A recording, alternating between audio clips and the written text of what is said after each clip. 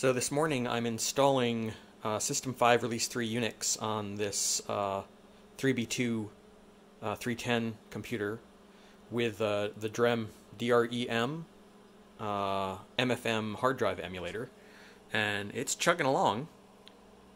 Uh, I had some issues with it originally, but um, the engineer at the company actually responded to my email on a Saturday at around 3 p.m with a new build.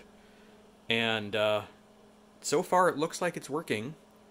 Um, the disk's formatted correctly. And uh, now I'm actually, well, the low level format went correctly. Now I'm doing a high level format through the um, System 5 installer. And we'll see how it goes. But yeah, it's, it's pretty cool. You can see all the debugging output that it's throwing up on this uh, VGA monitor.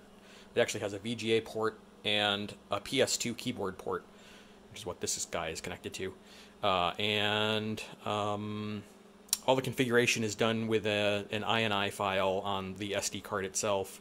So I just set it up for um, to, to emulate a uh, Wren 2 drive. Actually, I'm emulating two Wren 2 drives, so it's a two disk setup, which normally uh, would not fit into a uh, 3B2 310 case without uh, an external um, expansion module.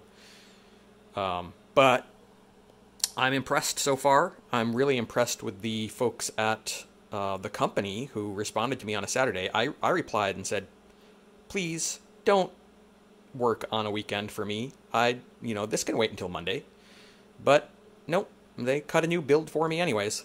So, uh, thumbs up, guys. Yeah, really good work so far.